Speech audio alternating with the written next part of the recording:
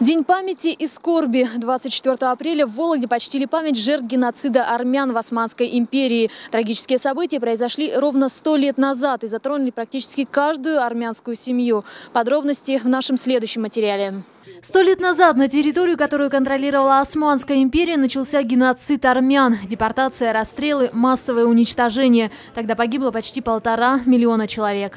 Мы сегодня собрались здесь отмечать этот трагический день.